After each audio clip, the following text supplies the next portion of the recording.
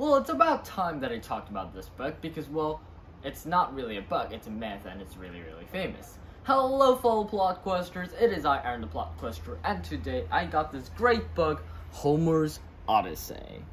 And well, let's get right on to it. So, uh, this is actually part one of a two-part series for this book because number one, it's hella long, and number two, it literally is split into two books, like the Book of the Dead and the other one, the first one. So, makes sense.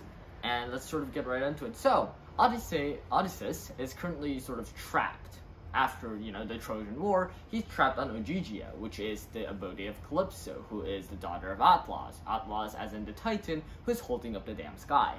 And Calypso is sort of keeping Odysseus, Odysseus there, offering him immortality and all that because she fell in love with him. And unfortunately, he doesn't love her because he's actually a faithful husband. Cough, cough, Zeus glares at Zeus. Anyways, yeah, so he's actually a faithful husband to Penelope, who's been waiting for him at Ithaca for like who knows how long. I actually don't remember. I'm fairly sure it's like over a decade now. And that and he really, really wants to get back home. However, the however Poseidon is mad at him for killing a Cyclops who tried to kill him, by the way. And so he's trapped there. Meanwhile, at back at home, things aren't looking too good. Suitors have been surrounding Penelope and trying to, you know, get her to marry them so they would become king and all that. And yeah, so they've been really, really, really annoying. And Tele- Telemachus, who is the son of Odysseus, is sort of going mad because of this, and he's really, really annoyed. However, at least one goddess has some sense, and that's Athene, Ath- Athena, who is, you know, the goddess of wisdom. And in this book, she's described as the goddess of the flashing eyes. And basically, Athena, Athena sort of just goes, guys, we've made Odysseus go through like a lot. I mean, a lot of bad stuff, as in, you know, a war, then a really long voyage that ended up him getting stranded on an island with a goddess trying to seduct him for seven years. So maybe we should be nice to him and let, let him go home, you know? And the gods were like, yeah, I guess. And Zeus was like, okay, fine. And so finally the gods are being nice and letting Odysseus go. And Athena, Athena meanwhile starts her plan.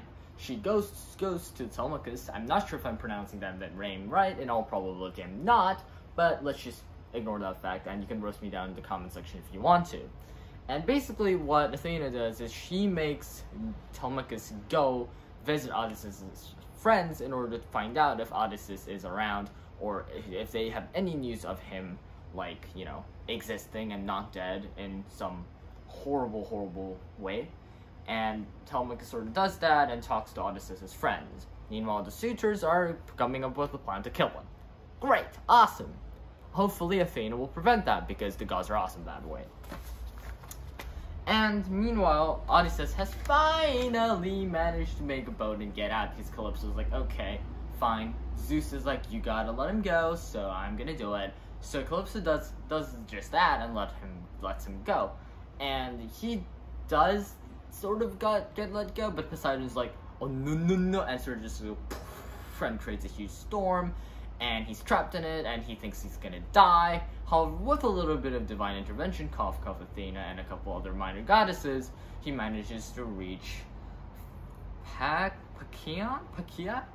I have no idea how to pronounce that, sorry. And the people of that land, I'm not gonna pronounce that name twice, knowing that I am pronouncing that wrong, are pretty nice actually. And they hear hear out his story and they're really hospital hospitable to him.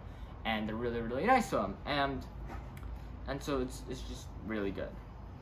And their Odysseus conveniently starts telling his story before Calypso, pre-Calypso, which is you know his brush with death with Polyphemus, the great Cyclops, son of Poseidon, the Earthquaker, and also his little visit at Kirk's Island.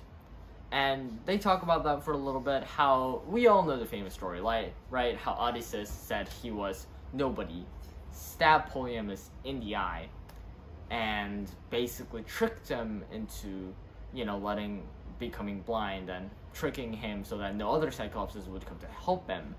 And he ran away. However, you know that that's the reason why Poseidon hates him so much, mostly because. mostly because you know he he blinded his son. I mean, I would be mad, but not to this extent. Actually, no, I would have killed him. Sorry. Um, yeah, moving on. Anyways, So he just tells the story, and then the book sort of it sort of halves there, and it sort of ends for now.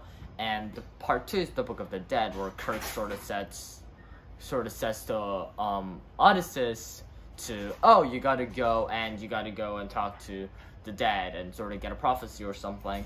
And now that that, that, that makes sense. And now we're moving on to book, the second book, which is called the Book of the Dead, apparently, and that's part two of the book. And a couple things, you know, I'm a big, big Rick Riordan fan, as you could probably tell. I mean, if you couldn't tell, then I don't know, maybe get some glasses. Um, but any, anyways, freak. Yeah. So, anyways, I'm a big, big, big, big Rick Riordan fan. And I, when I was reading this, I actually found out a lot of the stuff that Rick Riordan I thought just came up with, but I actually saw or actually started in here. Number one, Calypso and her, her clothes.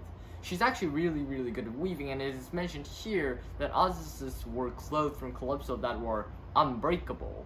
In the Heroes of Olympus series, Leo Valdez, who never finds his love and eventually ends up dating Calypso, as we find out in the Trials of Apollo, Calypso sort of makes and weaves these really cool clothes that doesn't burn even with Leo's fire, white fire. And she's a really skilled weaver and basically you can make anything with weaving. And i was like whoa that's cool. Did i really come from the myth? But I, it actually did. So that, that's pretty cool. And also the mist the mist is a really major factor in the percy jackson series. It's this veil of reality that sort of just sort of covers magical things and magical items from the mortal eye so us mortals don't go mad and start killing ourselves. And the point of that is, of course, so there won't be mass chaos, and also so that the realism is sort of there and it can sort of just explain it. However, that actually sort of comes out. When Athena leads uh, Odysseus, Odysseus into the city. She actually sort of is described here, and she says she surrounds Odysseus with mist. Sounds familiar, doesn't it? Because the goddesses or gods or demigods have certain control over the mist to try to cover up things and that's pretty cool. I I would say. I mean, that's actually that's really really cool. and yeah, I didn't realize that those two things actually had basis in myth and in Homer's story.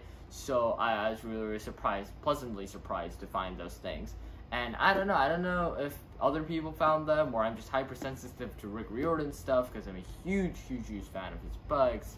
I don't know, but I thought it was a cool little reference there it's the reverse, but still, I, I read full Rick Riordan books before reading the full Odyssey, you know. I read the short version, version, and it's driving me mad because the story's really, really, really long. But still, you know, having fun. Anyways, that is pretty much it for the first volume. I actually have a, a more in-depth thematic analysis for the second book, because uh, for for the second uh, episode of this series, mostly because I want to look at the book as a whole before talking about its themes. And that's pretty much it for today. And like always, your plot quester and the plot quester. Have a great day. If you haven't read The Odyssey or any of Rick Riordan's book, or a lot of Greek myth for that matter, they're pretty cool. I would recommend it. Even if you read the shortened version, they're pretty good, aren't they? So I would I would tell you to read them, and they're good. And also, if you're a writer, then they will inspire you to greater ends. Bye. Have a great day.